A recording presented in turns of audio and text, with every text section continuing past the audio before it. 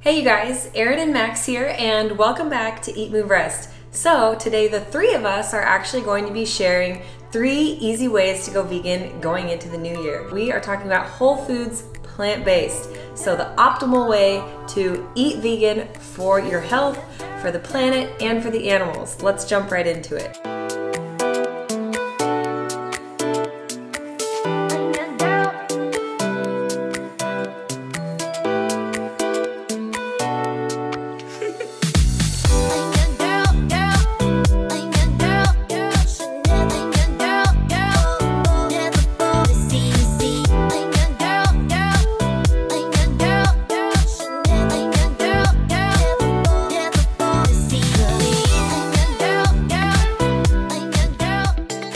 Number one, the first step that we always tell people to take is to add before you subtract. So that means when you go to the grocery store, come home with more produce, whole foods, fruits and veggies to stock your pantry and your refrigerator so that you can start to crowd out the bad on your plate with more of the good. Yes, so I know when we first went vegan, I really struggled with trying to go cold turkey, right? We just got rid of like all the milk and all the cheese and I didn't know what to have instead. So we always recommend now upgrade your milks. Like don't just get rid of things, make an upgrade so you can figure out what you like instead. So like Erin said, add before you subtract. That also includes coming up with new recipes, developing yes. new recipes with these added healthy whole foods in your pantry and in your fridge.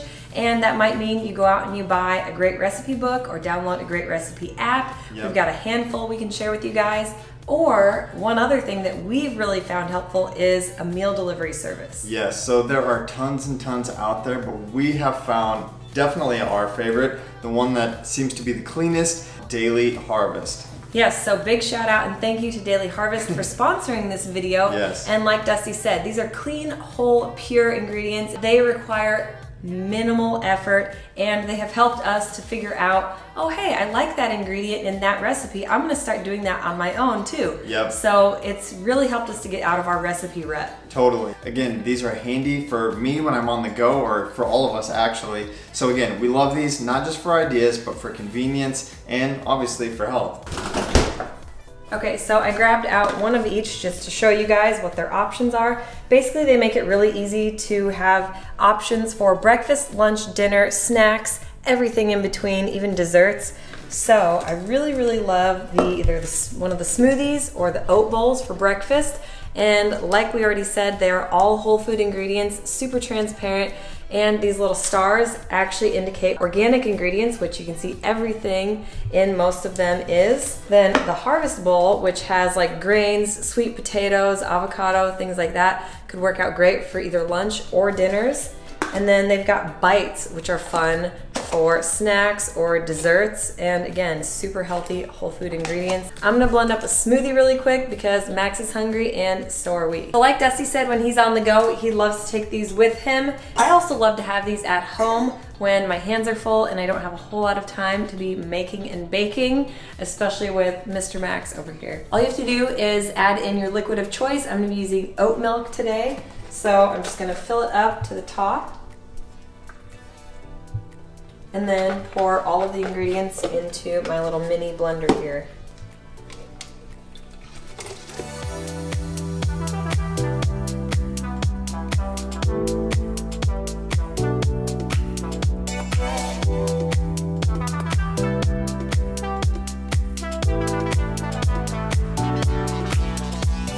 Some for baby and the rest for mom. One of my favorites is the oat bowl. This thing has like 500 calories, which is good for me. If you guys have watched any of my What I Eat in a Days, you know that I'm always packing in the calories, but this, it's ridiculously easy. So anyway, I usually take this with me, or I can whip it up in the morning. Same thing, add your plant milk, throw it in a pan, cook it up, and you've got a meal in just a few minutes. So number one, add before you subtract. Give yourself time to build your recipe repertoire. Use other people's recipes, like I said, blogs, YouTube, and use these meal delivery services to kind of help get the ball rolling, get your inspiration juices flowing, and enjoy the process. Tip number two is take baby steps. So take your time and enjoy the process. There are three different ways that I like to recommend for you to start. Number one would be to start with just one meal a day. So maybe that means a smoothie for breakfast, or maybe that means a salad for lunch, or maybe it means a hearty veggie stew for dinner. Pick one of those three and stick with it for a period of time before you veganize your other two meals for the rest of the day. The other way you could go is to pick just one animal product to eliminate at a time. So that would be either meat, dairy, or eggs. Maybe you go without the creamer in your coffee and you choose for a plant-based alternative instead. Third and final way to take baby steps would be to challenge yourself. So try out a 30 to 40 day challenge. Dusty and I did that and we felt amazing. If you haven't already watched our story, we will link that below so you can hear more about our experience doing that. So pick one of those, but take your time. And like I said, just enjoy the process. Don't be too hard on yourself. It's the best way to sustain this diet long term. So our third and final step is a three for one. This is commit, connect, and clean up. So first you need to commit. Tell yourself that you're ready now, you're going full on vegan and just do it. Tell your family, tell your friends, get on social media and let people know that you're committing. Connect with them.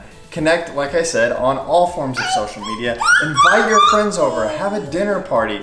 Make your plant-based diet a new lifestyle thing that you invite other that you invite other people in on. And the third part of that is to clean up. So do like Erin and I did, and that is clean out your pantry, clean out your fridge, and don't shop the meat and dairy egg aisles, right? So if you don't have these foods in your pantry or in your fridge, you're not gonna be tempted to eat them because you don't have them. Those are our top three tips for how to go vegan in this new year. All right, you guys, there you have it. Your three easy ways to go vegan or whole food plant-based into the new year. Yes. So to sum it up, we have add before you subtract. Take baby steps. And commit, connect, and clean up. Yes. To simplify all of that, it all boils down to preparing, practicing, and sustaining it long term. Yes. So again, include people in on this journey with you. It's so important to have someone, whether it's a friend, a spouse, or a group of people. Like we mentioned before, have a dinner party. Like make this a group thing and team up. It makes it a whole lot easier. If you guys like this video, if you want to see more like it, give it a thumbs up. Join us here at the Eat Move Rest fam by clicking that subscribe button and clicking that bell so you'll get notified when we put out new content on our channel. Yep. Leave us some love in the comments below and follow us daily on Instagram at Erin Stanczyk, at DB Stanczyk. Yep. Max will be there too. yes, you guys, we seriously recommend Daily Harvest. We've got a freezer full of the stuff. It is legit. We've got a coupon code in the description below. Click it, save some money, and give it a try. This will help you succeed. Bye, you guys. Eat, move, rest. Yo best. We're Dusty, Erin, Max, and Bo, and we're the Stanczyks. We aspire to live a plant centric, faith forward, healthy lifestyle and welcome all of the adventures that accompany it. Join us every week as we blend, chop, juice, run, lift, ride, and master our minds in between on the ultimate quest to find better balance, deeper connection, and true happiness within.